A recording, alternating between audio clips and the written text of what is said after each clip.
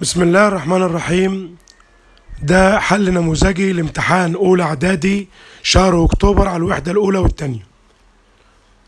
طبعا زي ما إحنا شايفين بعد ما سمعنا ال listen الأولى أجيب نست التانية 5 hours التالتة in Cairo الرابعة yes. سؤال ال dialogue يا جماعة نركز فيه جامد ونقرأ الجملة المفتاحية والأشخاص ونقرا الديالوج مرتين.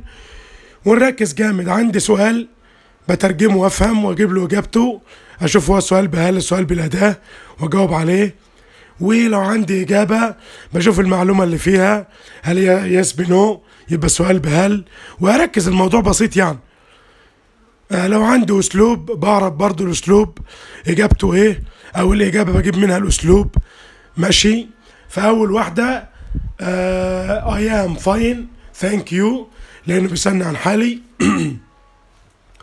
I am very well thanks ممكن أقول له I am good I am great بعد كده بيقول له how do you go to school أو how often do you walk to school الاتنين صح تالتة we have got English after the break مثلا الرابعة are you good at it الأخيرة we have got science after English. أو at 10 o'clock أو أي وقت لأنها مفتوحة يعني.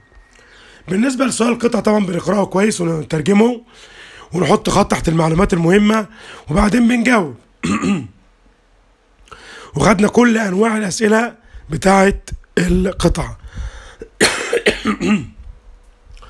السؤال الأول بيقول لي إجابته It's about Mrs. Hala's family. أو Mrs. Hala's life. أي إجابة منطقية صحيحة هتحتسب. بس لازم برضو تعبر عن العنوان والفكرة الرئيسية. التاني It refers to Sama. It refers to Sama. I think that because she is very kind and helpful. السؤال الثالث